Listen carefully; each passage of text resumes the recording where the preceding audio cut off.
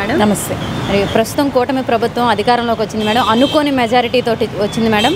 అసలు ప్రజలందరికీ ఎలా అనిపిస్తుంది మేడం? ప్రజలందరూ చాలా ప్రశాంతంగా చాలా సంతోషంగా ఉన్నారనమాట అంటే ప్రజలకి మన్నటిదాకా ఒక బయటికి రావాలన్నా దేని గురించైనా మాట్లాడాలన్నా దేని మీదన్నా స్పందించాలన్నా స్వతంత్రం లేదు. ఫస్ట్ ఆఫ్ ఆల్ ప్రతిదానికి భయపడుతూ ఉన్నారు. వాళ్ళ వైపు నుంచి తప్పు ఉంది అని తెలిసినా కూడా వీళ్ళు భయపడుతూ ప్రశ్నించలేని పరిస్థితి అనమాట ఇప్పుడు నిన్నే కనుక చూసుకున్నట్టయితే ఇప్పుడు వరకు ఎంతోమంది ఆడపిల్లలు తప్పిపోయారు. దాని గురించి ప్రభుత్వం కానీ లేకపోతే పోలీసులు కానీ దేని గురించి స్పందించలేదు. నిన్న డిప్యూటీ సీఎం గారు స్పందించి తేజస్విని అని చెప్పి వాళ్ళ మదర్ వాళ్ళు వెళ్ళి భీమవరంలో ఆయన కలిస్తే ఆయన దాని మీద స్పందించి అమ్మాయిని ఢిల్లీ బాంబే అన్ని చోట్ల ఎతికిస్తే దాదాపు లాస్ట్లో అమ్మాయి జమ్మూ కాశ్మీర్లో దొరికింది అనమాట ఫార్టీ ఎయిట్ అవర్స్లో అమ్మాయిని పట్టుకున్నారు. అంటే మనకంత టెక్నాలజీ ఉంది అలా పట్టుకునే వ్యవస్థ ఉంది కానీ పోలీసులు కానీ ప్రభుత్వం కానీ ఎంతోమంది దాదాపు ముప్పై మూడు వేల మంది ఆడపిల్లలు తప్పిపోతే దేని మీద స్పందించని చేతగాని ప్రభుత్వం. పైగా మనకి ఇద్దరు మంత్రులు ఉన్నారు పద్మ మంత్రులు మహిళా మంత్రులు ఉన్నారు. ఇప్పుడు మెయిన్ మంత్రులు ఏంటి? మహిళల మీద స్పందించడానికి ఇప్పుడు హోమ్ మినిస్టర్ గారు వనిత గారు ఉన్నారు. ఆవిడ కనీసం ఆవిడ ప్రోటోకాల్ ఏంటి? వేటి మీద ఆవిడ స్పందించాలి? వేటి మీద ఆవిడ మాట్లాడాలి? నిజంగా ఇలాంటివి ఉంటాయా అని కూడా ఆవిడకి తెలియదు మన మహిళా కమిషన్ చైర్మన్ ఉన్నారు ఈవిడ వాసిరెడ్డి పద్మ గారు. ఆవిడకైతే ఆవిడ ఎందుకు చైర్మనో దేనికి చైర్మనో కూడా ఆవిడకి తెలియని పరిస్థితి అనమాట ఎన్నోసార్లు ఆవిడని కలవడానికి ప్రయత్నించాము. ఎన్నోసార్లు ఆవిడ మాట్లాడడానికి ప్రయత్నించాం. కానీ భారతీ రెడ్డి గారి మీద ఒక చిన్న పోస్ట్ పెట్టినందుకు ఆవిడ మాత్రం భారతీ రెడ్డి గారి గురించి ఆ నెక్స్ట్ డేనే వచ్చి మహిళా కమిషన్ మీటింగ్ పెట్టింది విజయవాడలో ఐలాపురం హోటల్లో. అక్కడికి మేము ఒక మంగళపూడి అనిత గారితో సహా మేము ఒక పదిహేను మంది వెళ్తే అక్కడ ఆ మమ్మల్ని ఆపేసి రెండు వందల మంది పోలీసులు వినియోగించుకొని మమ్మల్ని ఆపేసిన పరిస్థితి. అంటే ప్రతిపక్షంలో ఉన్న ఆడవాళ్ళు వెళ్ళి మా మీద కూడా ఇలాంటి దుర్భాషలతో సోషల్ మీడియాలో ట్రోల్స్ చేస్తున్నారు మార్ఫింగ్లు చేస్తున్నారు అని చెప్పి మేము కూడా అడగటానికి మాకు హక్కు లేదా? ఎందుకు వాసిరెడ్డి పద్మ గారు మహిళల్ని కలవలేదు? చివరికి మేము అంత ప్రయత్నిస్తే ఒక్క అనిత గారిని కలిసి మాట్లాడి ఆవిడేదో ఆవిడ చెప్పాల్సింది చెప్పారే తప్ప మహి వనిత అనిత గారు మాట్లాడాల్సింది మాట్లాడనివ్వకుండా పంపించేసిన పరిస్థితి. ఈ రోజున అదే అనిత గారు హోమ్ మినిస్టర్ అయ్యారు. ఎలా ఉంటుంది తెలుగుదేశం ప్రభుత్వంలో మహిళలు హోమ్ మినిస్టర్ స్థాయిలో ఉంటే ఎలా ఉంటుంది? అనేది ఒక నాలుగు రోజుల నుంచి చూస్తున్నాం.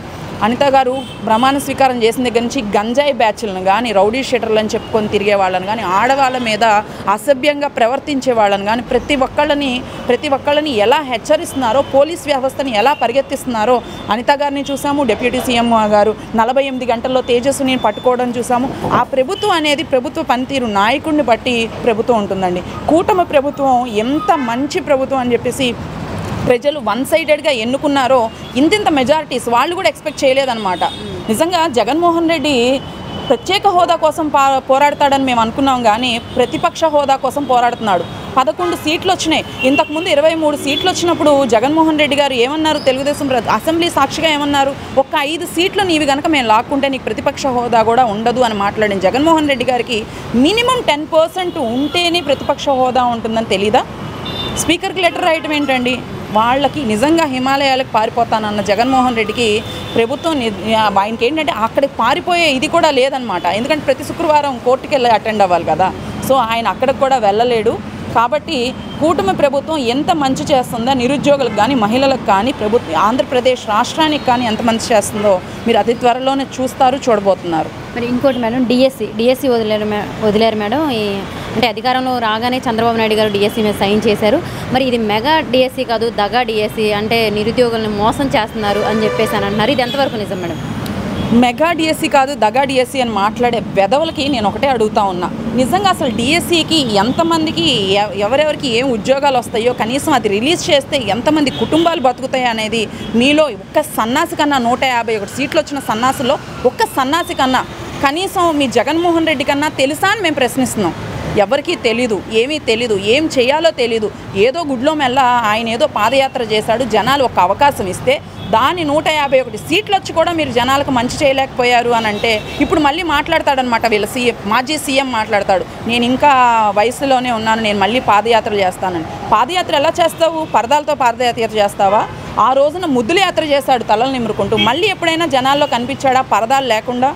పోలీసులకు పాపం ఇదే అలవాటు అయిపోయింది. మన ఆ లోకేష్ గారు అని బాబు గారు తిరుపతి వెళ్తే కూడా పరదాలతో కట్టుకొని జనాలు నెట్టేస్తుంటే ఆ రోజు లోకేష్ గారు కూడా స్పందించి పరదాల సీఎం అని ఆయన అయిపోయింది ఆయన మేము ప్రజలందరికీ దగ్గరగా ఉంటాం ప్రజలందరినీ కలుస్తూ ఉంటాము అని మాట్లాడారు. నిజంగా డిఎస్సి అనేది రిలీజ్ చేస్తే ఎంతోమందికి ఉపాధి అనేది కలుగుతుందన్నమాట. ఒక డిఎస్సి అనే కాదండి అమరావతి రానున్న రోజుల్లో ఎన్నో మెరుగులు దిద్దుకొని ఎన్నో ఐటీ కంపెనీలు సాఫ్ట్వేర్ కంపెనీలతో ముందుకు రాబోతుంది. ఆ కంపెనీస్తో ఎంతోమంది యువతకి నిరుద్యోగులకి ఉద్యోగాలు పక్క రాష్ట్రం వెళ్ళి ఉద్యోగాలు చేయాల్సిన పని లేదు. ఆల్రెడీ బీటెక్ చదివి ఎంతోమంది వాలంటీర్స్గా మిగిలిపోయారు. ఐదు వేల రూపాయలు జీతం ఇచ్చి ఏదో ఉద్యోగాలు ఇచ్చేసి ఓడబొడి చేశామన్నట్టుగా జగన్మోహన్ రెడ్డి గారు చేశారు.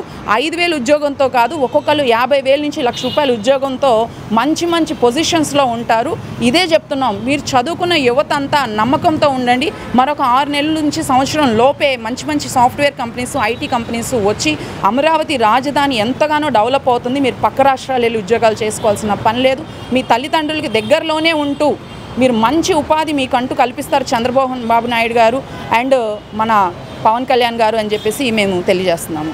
అంతేకాకుండా ఇప్పుడు అమరావతి అండి. అమరావతిని చూసుకున్నట్టయితే గతంలో జగన్మోహన్ రెడ్డి గారు మూడు రాజధానులు అని చెప్పేసి మూడు ముక్కలు ఆటాడానండి ప్రజలతోటి. అది అయిపోయింది. మళ్ళీ ఇప్పుడు అమరావతి రాజధాని అని చెప్పేసి కూడా సీఎం గారు డిప్యూటీ సీఎం గారు కూడా చెప్పారు. అంతేకాకుండా పోలవరం విషయం చూసుకున్నట్టయితే పోలవరం అంతకుముందు చంద్రబాబు నాయుడు గారు హయాంలోనే అది డెబ్బై ఐదు శాతం పూర్తయింది. మరి వైసీపీ ప్రభుత్వంలో అది కేవలం అసలు ముందుకు కూడా కదలని పరిస్థితి ఉంది మేడం. కానీ అంబటి రాంబాబు గారేమో అది ఆగిపోవడానికి కారణం కేవలం టీడీపీ ప్రభుత్వమే అని చెప్పేసి అని అంటున్నారు కండి. దానికి ఏం చెప్తారు?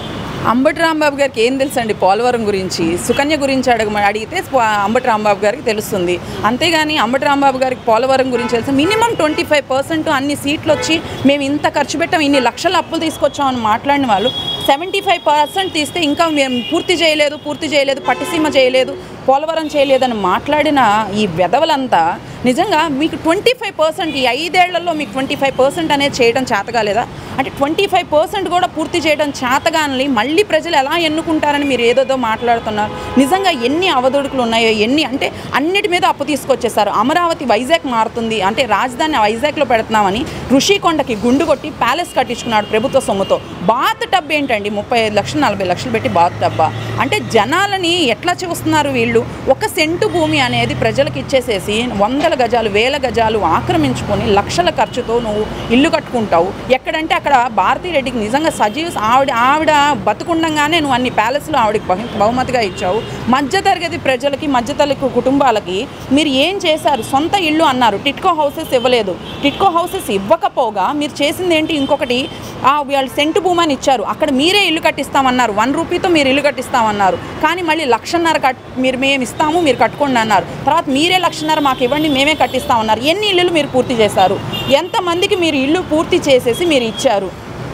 మీరు ఎక్కడంటే అక్కడ ప్రభుత్వ సొమ్ముతో వైసీపీ పార్టీ ఆఫీసులు వా పార్టీ కార్యాలయాలు అని చెప్పేసి మీరు ఎన్ని చోట్ల ప్యాలెస్లు కట్టుకున్నారో ఎంత అక్రమంగా ప్రభుత్వ భూమిని మీరు స్వాధీనం చేసుకున్నారు. అన్ని లెక్కలు త్వరలోనే తీరుస్తారు. ప్రతి ఒక్కడు ఊసలు లెక్కబెట్టే పరిస్థితి ఈరోజు నెలకొంది ఆంధ్రప్రదేశ్లో. ఇంకోటి మేడం ఇప్పుడు నాదెండ్ల మనోహర్ గారు ఆయన తెనాల నుంచి ఎమ్మెల్యేగా గెలిచి ఆయన పౌరశాఖ మంత్రిగా కూడా ఆయన ప్రమాణ స్వీకారం చేయడం జరిగింది మేడం.